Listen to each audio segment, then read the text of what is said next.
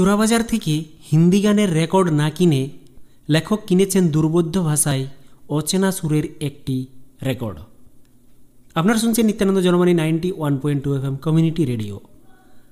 শুরু হচ্ছে গল্প নিয়ে গল্প অনুষ্ঠান। গত সপ্তাহে আপনারা গল্প নিয়ে গল্প অনুষ্ঠানে শুনেছিলেন প্রেমেন্দ্র মিত্রের ছোট গল্প সংসার সীমান্তে। আজকে আপনাদের শোনাব নারায়ণ গঙ্গোপাধ্যায়ের রেকর্ড গল্পটি। অনুষ্ঠানটি উপস্থাপনা করছেন ডক্টর তপন পাত্র। তাহলে শুনুন আজকের গল্প নারায়ণ গঙ্গোপাধ্যায়ের রেকর্ড। চলো শুনি নিত্যানন্দ জনবাণী।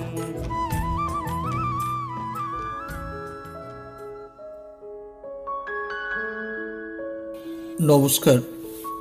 গল্প নিয়ে গল্প অনুষ্ঠানে আজ যে গল্প নিয়ে গল্প করব, সেই গল্পের নাম রেকর্ড। গল্পকার নারায়ণ গঙ্গোপাধ্যায়। একটি গ্রামোফোন রেকর্ডকে তথা রেকর্ডে শোনা গানকে কল্পনা বিস্তারে দেশকালের সঙ্গে সঙ্গতির সূত্রে যে পারদর্শিতায় বেঁধেছেন লেখক, তা বাংলা কেন? যে কোনো সাহিত্যেই বিরল। অনেকেই গল্পটিকে স্বাধীনতা পরবর্তী ভারতের অনির্দিষ্ট পটভূমিতে ফেলে বিচার করেন। তাদের ইতিহাসবোধের ক্ষীণতায় দায়ী এর জন্য। শুভক্ষণ গল্পগ্রন্থের অন্তর্গত নারায়ণ গঙ্গোপাধ্যায়ের এই গল্পটি। শুভক্ষণের প্রকাশকাল, উনিশশো ষাট সাল। এর মাত্র কয়েক মাস আগে, উনিশশো উনষাট সালের একত্রিশ আগস্ট, কলকাতার রাজভবনের উত্তর পূর্ব কোণে গ্রেট ইস্টার্ন হোটেলের সামনের রাস্তায় তৎকালীন বিধান রায় সরকারের খাদ্যনীতির বিরুদ্ধে বিক্ষোভ প্রদর্শনে আসা গ্রামের চাষিদের উপর পুলিশ নিষ্ঠুরভাবে লাঠি চালায়। এমনই নিষ্ঠুর যে আশি জন কৃষক ঘটনাস্থলেই মারা যায়। অনেকে নিখোঁজ হয়। এই নিখোঁজের কারণ লাশ গায়েব। এর প্রতিক্রিয়ায় হাওড়ার দাসনগর পার্শ্ববর্তী অঞ্চল, নদিয়া জেলার বিভিন্ন জায়গা এবং কলেজ স্ট্রিট চত্বরে পরবর্তী এক সপ্তাহ নানান অশান্তি দেখা দেয়। হাওড়ায় ধারাবাহিক কারফিউ, উত্তর কলকাতা ও কলেজ স্ট্রিট চত্বরে একশো চুয়াল্লিশ ধারা লাঠিচার্জ, টিয়ার গ্যাস প্রয়োগে তৎকালীন ছাত্র ফেডারেশনের বিক্ষোভ দমন করা হয়। স্বাধীন দেশের সরকার বস্তুত এই খাদ্য আন্দোলন দমন করতে করতেই ইংরেজ আমলের বর্বরতাকে অতিক্রম করার অনুশীলনে মেতে ওঠে। কলকাতা বিশ্ববিদ্যালয়ের শিক্ষকতা করার সূত্রে নারায়ণ গঙ্গোপাধ্যায় এই সকলের প্রত্যক্ষদর্শী তার নিজের গ্রামোফোন রেকর্ড সংগ্রহের নেশা ছিল। এর সব থেকে বিরল সংগ্রহ জড়ো হতো শিয়ালদহের চোরাবাজারে নারায়ণ গঙ্গোপাধ্যায় থাকতেন তখন মহাজাতি সদনের পিছনের মাঠ, মার্কাস স্কোয়ারের কাছাকাছি পাড়ায়। তখন শীতকালে মার্কাস স্কোয়ারে সার্কাস হতো। উনিশশো উনষাটের সেপ্টেম্বর মাসের কম বেশি প্রথম দশ বারো দিনে কলেজ স্ট্রিট চত্বরে আবেগ আহত ছাত্র বিক্ষোভের কথা মনে রেখে রেকর্ড গল্পটি পড়লে এর অর্থ বোধগম্যতা যথেষ্ট সহজ হবে। বামপন্থী দলানুবর্তী ছাত্র আন্দোলনের ঝড়ের মেঘের মন্ত্র আর রেকর্ডের অজানা সুর এবং মার্কাস স্কোয়ারের খাঁচাবন্দি সার্কাসের বাঘের আক্রোশ সমাপদন অর্থ সঞ্চারী হয়ে উঠবে। এখন এই রেকর্ড গল্পের কাহিনীটি নিজের ভাষায় শোনাই। চোরাবাজার থেকে হিন্দি গানের রেকর্ড না কিনে লেখক কিনেছেন দুর্পত্য ভাষায় অচেনা সুরের একটি রেকর্ড। এই রেকর্ডটি অধ্যাপক লেখককে এমনভাবে ভাবিয়ে তুলেছে যে বিশ্ববিদ্যালয়ের পরীক্ষার খাতা দেখা তার মাথায় উঠেছে। অন্যদিকে সদ্য অধ্যাপিকা হওয়া স্ত্রীর অনুভূতিগত পরিবর্তন বিশেষভাবে লক্ষ্য করতে হয়। বিরক্তি থেকে বিব্রত অবস্থায় পৌঁছে গিয়েছেন তিনি, যেহেতু পড়াশোনার জন্য পড়াশোনার ব্যস্ততা ছিল। অথচ গানের সুর তার পড়ার মনকে দিয়েছে বিশৃঙ্খল করে। কয়েকটি উক্তির মধ্যে তার উপলব্ধির এই বিবর্তন ধরা পড়েছে। তার প্রথম অনুভূতি, কি বিটকেল বাজনা রে বাপু? কি কাদের গান? তার দ্বিতীয় অনুভূতি, কোত্থেকে রাজ্যের ছাইপাশ জোটাও তুমি জানি না। পড়তে দেবার মতলব না থাকে তো বলো। সোজা ছাতে গিয়ে উঠি। তার তৃতীয় অনুভূতি দেখি, হাতে একটা লাল নীল পেলসিন নিয়ে এসেছিল। তার গোড়াটা চিবোচ্ছে আনমোনার মতো। তার চতুর্থ অনুভূতি বললে না, খারাপ লাগল না, কিন্তু মন খারাপ হয়ে গেল। পড়াটা নষ্ট করে দিলে আমার মাত্র তিন মিনিটের গান তার মধ্যে এমন কি অনুভূতি থাকতে পারে যে এই দুই পরম ধৈর্যের অবতারের ধৈর্যকে টলিয়ে দিয়েছে? দেখা যায়, এই অনুভূতি কেবল ক্ষণিকের নয়, কারণ এই অস্বস্তি রাত্রে খাওয়ার সময় পর্যন্ত তাদের পীড়া দিতে লাগল। এবং এই সময়ই তারা দুজনেই গানের রহস্য উন্মোচনের চেষ্টায় কয়েকটি সূত্র ধরানোর চেষ্টা করেন। অধ্যাপিকা স্ত্রী করুণা জানান যে ছোটবেলায় যখন আসামি ছিলেন, তখন খাসিয়াদের গানে এ ধরনের এক অনুভূতি জাগত।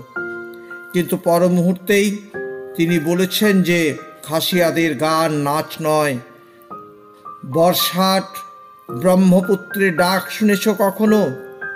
পাহাড় ভেঙে নেমে আসে বড় বড় গাছগুলিতে, স্রোতের টানে কুটোর মতো ভাসিয়ে নেয়। দূরের পাহাড়ে বুনো হাতি গড়ছে গড়ছে ওঠে। তখন নাগাদের ঢাকের আওয়াজ নয়, কোনো কিছুর সঙ্গেই এই অচেনা ভাষার অজানা সুরের মিল হচ্ছে না। অথচ মনে হচ্ছে যেন বহু চেনা, খুব চেনা মানুষের নাম মনে করতে না পারলে চাবির গোছা এইমাত্র কোথাও রেখে তারপর আর খুঁজে না পেলে যেমন একটা ছটফটানি জেগে ওঠে, ঠিক সেই রকম। অনুভূতি করুণাকে অস্বস্তিতে ফেলে দিল। লেখকও এই গানের সুরের সাদৃশ্য খুঁজতে খুঁজতে স্মৃতির উপর নির্ভর করলেন। তাঁর মনে জেগে উঠল পুরুলিয়ার এক স্মৃতি। আসন্ন সন্ধ্যায় নির্জন পথ দিয়ে চলেছেন লেখক। দুধারে কুসুম গাছের সারি আর বাঁশের বন। দূরে দাঁড়িয়ে ঝালদার পাহাড় ভুতুড়ে তার চেহারা, পথের পাশের দিঘিতে পানকৌড়ির কলধ্বনি আর ঝিঝির ডাক। হঠাৎ সে সব কিছুকে ছাপিয়ে জেগে উঠল নাকড়ার আওয়াজ। দিগন্ত থেকে দিগন্ত ছড়িয়ে পড়তে লাগল। শুরু হলো ছৌ নাচের পালা। চমকে উঠেছিলেন লেখক। এই সূত্রেই আবার মনে পড়েছিল উনিশশো বিয়াল্লিশের আগস্ট আন্দোলনের একটি চিত্র। পুলিশের বুলেটের সঙ্গে লড়বার আগের দিন রাত্রে বিয়াল্লিশের আগস্ট। বালুরঘাটের অন্ধকার সাঁওতালি গ্রামগুলি থেকে অমনিভাবে নাকড়া টিকারার রোল আমি শুনেছিলাম। স্বামী স্ত্রীর এই উপলব্ধিগুলির ব্যাখ্যা করলে দেখা যায় যে উভয়ের উপলব্ধিতে যে লক্ষণগুলি প্রকাশ পাচ্ছে সেগুলি হল মুক্তির আনন্দ, বন্ধন মুক্তির উল্লাস, নবসৃষ্টির আনন্দ, স্বাধীনতার আকাঙ্ক্ষা। এই চারটি লক্ষণই আবার যেদিকে পাঠককে আকৃষ্ট করতে চায়, তা হল মুক্তির আনন্দ। যে মুক্তি মিলেছে নতুনত্বে, বন্ধনহীনতায়, স্বাধীনতায়। রেকর্ডের রহস্য তবুও উন্মোচিত হয়নি। করুণার সহপাঠিনী গানের ডক্টরেট উপস্থিত হওয়ার সংকট মোচনের আশা দেখা দিল, কিন্তু দেখা গেল এই গানটি তাঁরও পাণ্ডিত্যের পরিধিকে সংকীর্ণ করে দিয়েছে। অথচ সে কথা স্বীকার করতে নারাজ।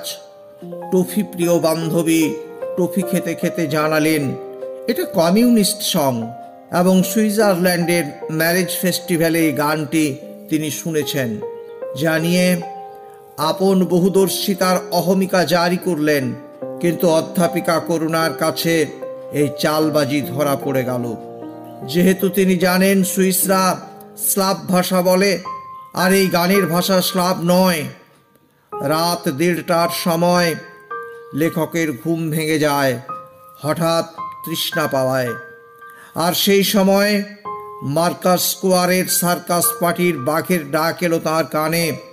লেখকের মনে হলো, কলকাতার এই অনিদ্র আল উজ্জ্বলা রাত্রে বাঘটা হয়তো সুন্দরবনের স্বপ্ন দেখেছে। বাঘের গর্জনের সঙ্গে একটা আবছা মিল আছে ওই রেকর্ডের সুরের, সেটাও খুঁজে পেলেন লেখক।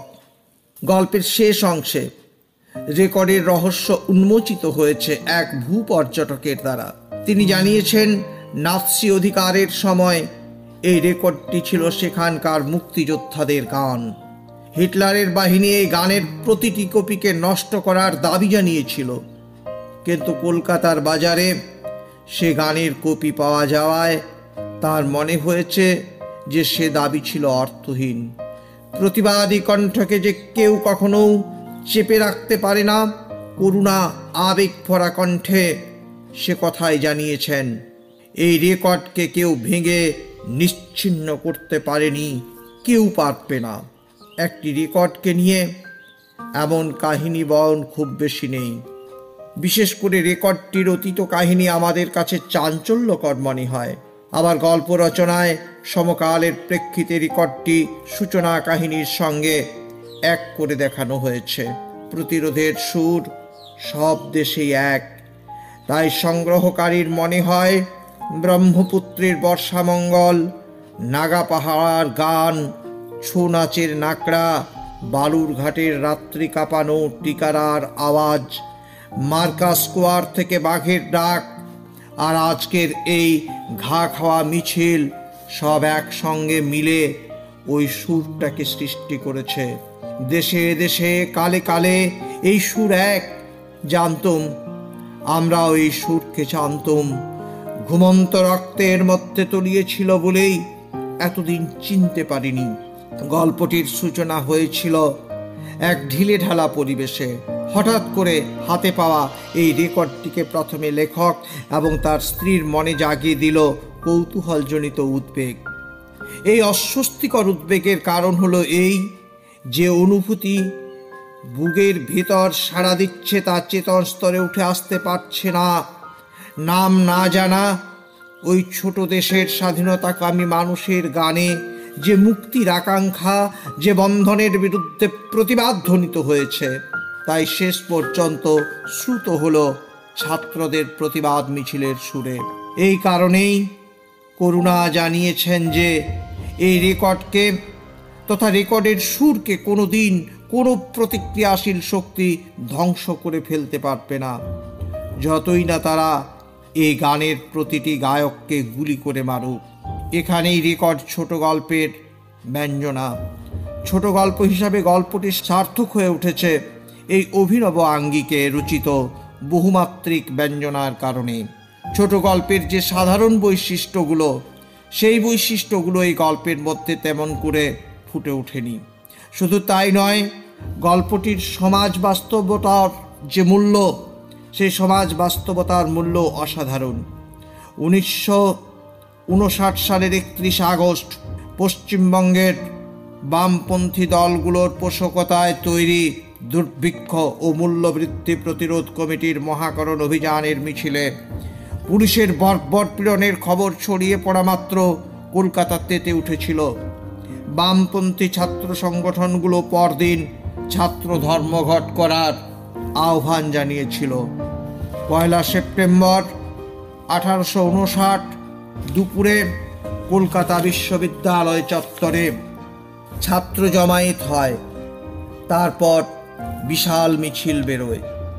ওয়েলিংটন স্কোয়ারে বিধান রায়ের বাড়ির সামনে হঠাৎ পুলিশ ছাত্র মিছিলের উপর ঝাঁপিয়ে পড়ে।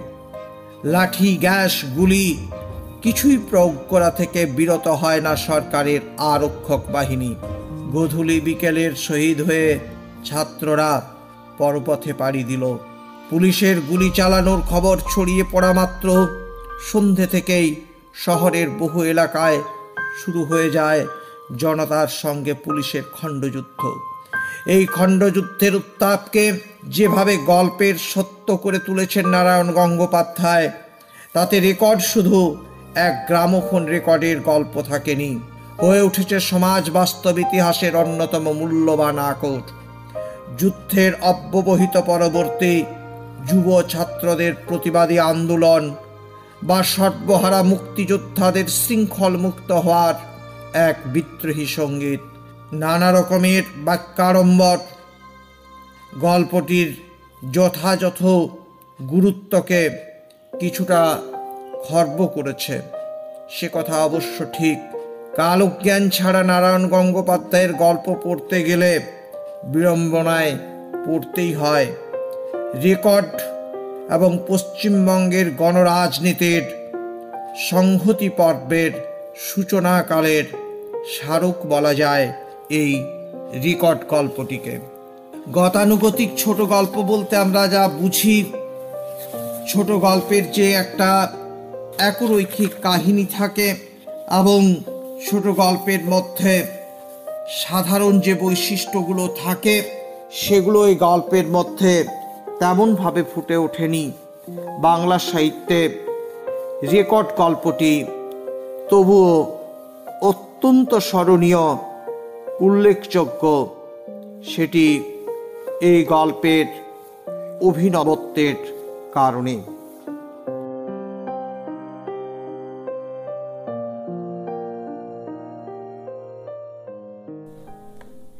এতক্ষণ শুনলেন গল্প নিয়ে গল্প অনুষ্ঠান। আজকে শুনলেন নারায়ণ গঙ্গোপাধ্যায়ের ছোট গল্প, রেকর্ড। অনুষ্ঠানটি উপস্থাপনা করলেন ডক্টর তপন পাত্র। আজকের মতো গল্প নিয়ে গল্প অনুষ্ঠান এখানেই শেষ হলো। দেখা হবে আবার সামনের সপ্তাহে। ততক্ষণে সকলে সুস্থ থাকুন, ভালো থাকুন। আর হ্যাঁ অবশ্যই কোভিড বিধি মেনে চলুন। ধন্যবাদ।